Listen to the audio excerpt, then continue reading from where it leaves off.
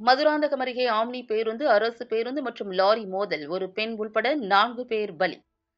செங்கல்பட்டு மாவட்டம் மதுராந்தகம் அருகே புக்கத்துறை என்ற இடத்தில் இன்று அதிகாலை திருச்சியிலிருந்து சென்னை நோக்கி வந்த ஆம்னி பேருந்து விழுப்புரத்திலிருந்து கிரானைட் கற்களை ஏற்றி வந்த லாரி மற்றும் முசிறியிலிருந்து சென்னை நோக்கி வந்த அரசு பேருந்து ஆகிய மூன்று வாகனங்களும் ஒன்றன் பின் ஒன்றாக மோதிக்கொண்டதில் ஆம்னி பேருந்தில் பயணம் செய்த மேல்மருவத்தூர் அருகே உள்ள செண்டிவாக்கம் கிராமத்தைச் சேர்ந்த மருத்துவர் ராஜேஷ் முகவரி தெரியாதவர் பிரவீன் சென்னை கொடுங்கையூர் பகுதியைச் சேர்ந்த தனலட்சுமி மற்றும் மேலும் அடையாளம் தெரியாதவர் ஒருவர் ஒரு பெண் உள்பட நான்கு பேர் சம்பவ இடத்திலேயே பலியானார்கள்.